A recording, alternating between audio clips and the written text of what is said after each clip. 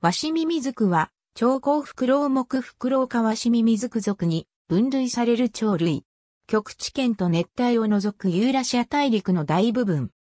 日本では、名鳥として、北海道、伊豆諸島、奄美大島で数回の記録があるだけとされていたが、その後の調査で、北海道北部でスーツ貝が繁殖しているのが確認された。北方領土の国後島、エトロフ島でも少数が流鳥として生息する。全長58から71センチメートル。体長約72センチメートル。翼海長152から180センチメートル。体重オス1500から1800グラム。メス1750から4200グラム。特にメスは大きく、翼の海長180センチメートル、体重4キログラムに達するものもいる。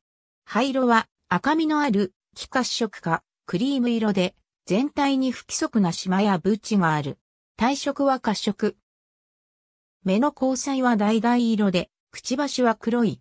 足指まで羽毛がある。以下の分類は IOC ワールドバードリストに、和名は日本鳥類目録改定第7版に従う。捕食のために飛翔する、ワシミミズクヒトザと離れた大森林、いわば荒れ地に流暢として住み、一年中テリトリーを持っている。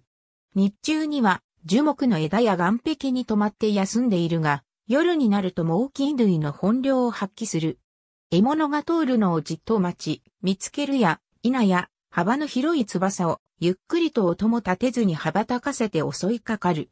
月歯類や、ノウサギ類などの哺乳類、サギ類や、ノスリ類、他のフクロウ類などの鳥類、爬虫類、カエル、昆虫などを食べる。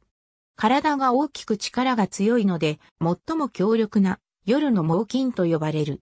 巣については、テリトリーの中の岩棚、大木の鱗、カラスの古巣などから条件の良いものを選んで巣にするというもので、巣材をほとんど使わない。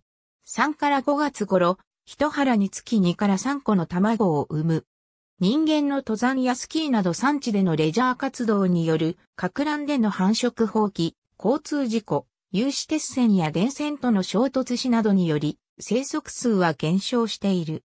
近年では、ヨーロッパでは生息数が増加傾向にあるとされるが、1970年代以降はアジアでの生息数は減少傾向にあると推定されている。ありがとうございます。